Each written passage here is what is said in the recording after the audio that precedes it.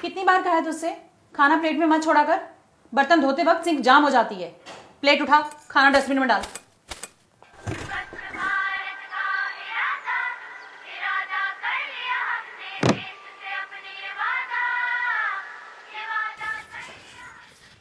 दीदी निकल रही हूँ मैं। जाने से पहले ना डस्टबिन उठा के किचन में रख दे।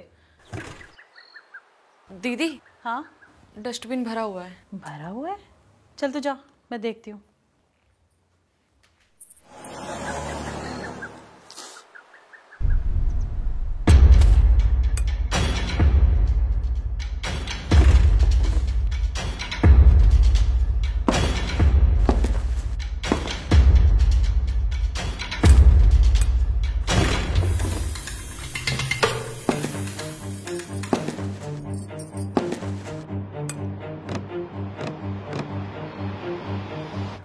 भैया डस्टबिन खोल के देखा और छोड़ दिया।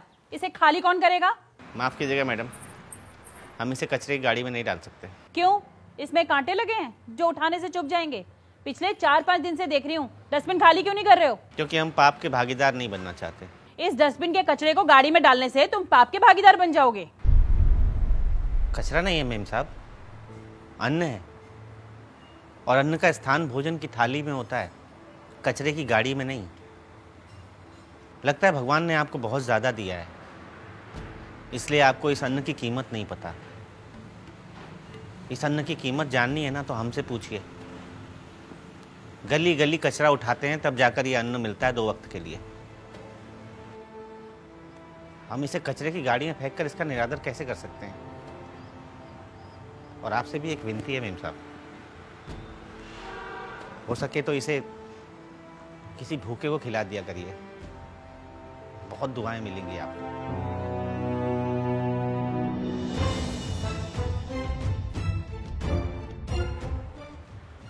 और खाना उतना ही ले थाली में, जितना व्यर्थ ना जाए नाली में।